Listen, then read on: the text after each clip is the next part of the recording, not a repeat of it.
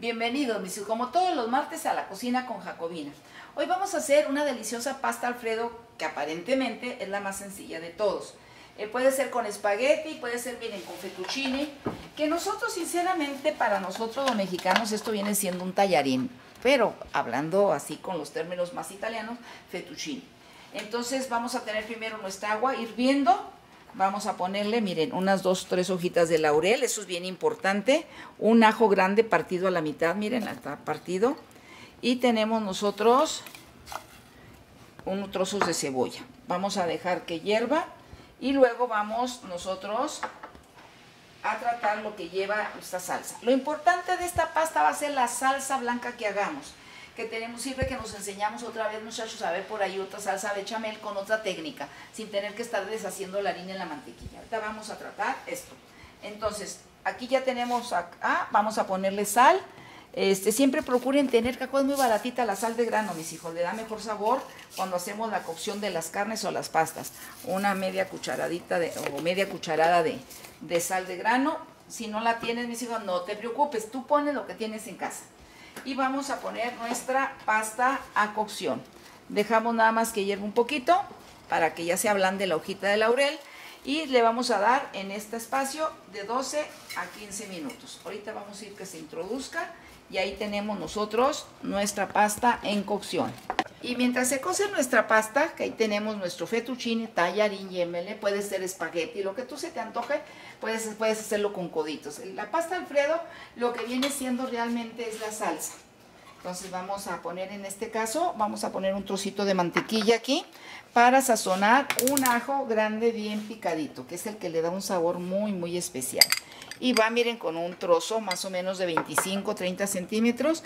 Y acuérdense, para que nuestra mantequilla no se nos queme, ni se nos pase la sazón y sepa ahumada o a media quemadilla, siempre un chorrito de aceite de oliva, mis hijos. Eso nos ayuda mucho a aderezar las cosas y coge mejor sabor.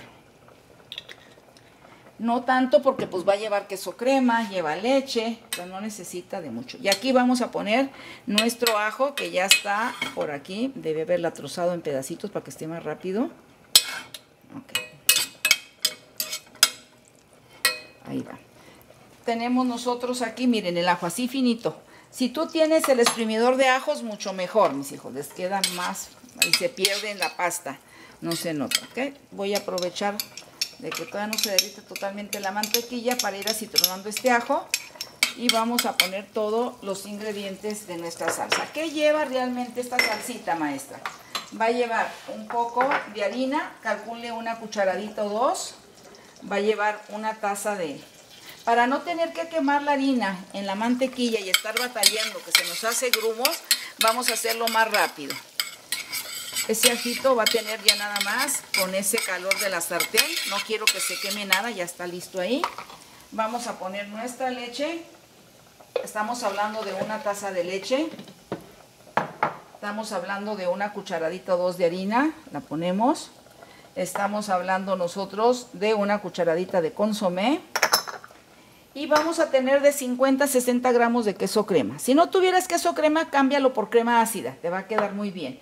Y checamos por acá nuestra pasta. Dijimos que de 12, miren, con 12 minutos todavía no está al dente, está media crudita. Dejamos entonces los dos minutos, unos 3, 4 minutitos más. Mientras tanto vamos a licuar todo esto. Y ya con los 15 minutos quiero que vean ustedes que ya está lista nuestra pasta. Eh, si la quieren más suavecita, pues entonces van a tener que ponerle ustedes unos dos minutitos más no es igual que el espagueti. El espagueti a los 12 minutos con el agua, cuando está el agua hirviendo, miren, ese es el punto. Que no se desquebraja, miren, miren que está al dente, ¿lo vemos? Ahí está. Tengan cuidado de hacer eso, mis hijos. Yo opto muy impuesta a lo caliente. Dejamos estar descubriendo. De perejil finamente picado que lleva al final esta pasta. Entonces, ¿qué estamos haciendo? Ahora sí, vamos a hacer nuestra salsa. Ya tenemos ahí el ajo, ya tengo acá lo licuado y vamos a ir meneando esta salsa con mucho cuidado para que no se nos vaya a pegar porque lleva, acuérdense que lleva harina. En lugar de haber deshecho la harina aquí, lo que es el roux para hacer una bechamel, yo lo puse todo junto y batallamos menos, más rápido. Acuérdense que venimos siempre del trabajo a hacer de comer. Y además le vamos a añadir al final, miren, media tacita de parmesano. Si no te gusta el parmesano, no te la compliquen, hijo. Puede ser ricota bien desmoronado, puede ser panelita, puede ser manchego, chihuahua, el cheddar, el que a ti te guste. Tú no te estreses porque no te, a tus niños no les gusta el parmesano. Entonces aquí lo vamos a estar meneando con mucho cuidado. Está a fuego manso, miren, a fuego bajito. Y mientras escurro yo la pasta. Debe tener nuestra salsa. Ni muy blanda, ni muy espesa. Lo único que nos falta aquí es probar de sal, la verdad. Y acá tenemos ya nuestra pasta escurrida. La regresamos a la olla. Y nada más le vamos a añadir ya nuestra crema. Entonces, ustedes ven qué tan espesa la van a querer. Nomás déjenme probar de sal, mis hijos, porque es el momento adecuado. Si está bien de sal, así la dejamos. ¿Por qué razón, maestra? Ya no le ponen más sal, porque tenemos nosotros, la pasta la pusimos con sal. Entonces ya nada más de mezclar, miren, vaciamos nuestra salsa en nuestra pasta. Mezclamos, está así bien calientita, la pasta está también caliente. Y ya nada más de mezclar la salsa sin, ya apagamos la estufa, nada más vamos a mezclar. En ese punto le ponemos el parmesano y como evapora con el calor de la salsa, ya no necesita calentarse más para no secarla, que nuestra salsa deliciosa la podamos no nada más lucir, sino degustar así, deliciosamente. Esto háganlo, la salsa se le pone a esta pasta cuando ya la vas a servir. Entonces aquí lo único que le falta es añadirle el parmesano. O bien poner tu bote de parmesano ahí por la mesa y cada quien se sirve a su gusto. Recuerden que el parmesano no es así como que de, mucho festejo para todos. Hay a quien nos encanta, pero hay a quien no le gusta mucho. En este caso, la receta lo lleva para que se sazone y se deshaga un poquito en la misma pasta. Ya tú eliges.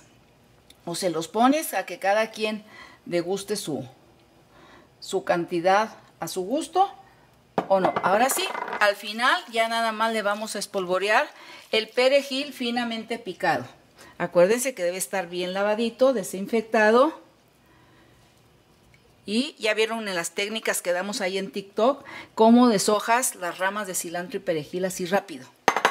Entonces vean esos TikTok están muy buenos, muy útiles, son puros consejitos basados no nomás en la práctica, en la experiencia.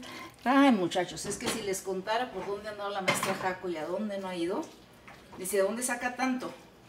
De los años de vida, mis hijos. Ya lo tenemos listo. Y también se pone un poquito de perejil al gusto. Si a alguien le gusta más, pues le ponen un poquito más. Ya eso es cada quien.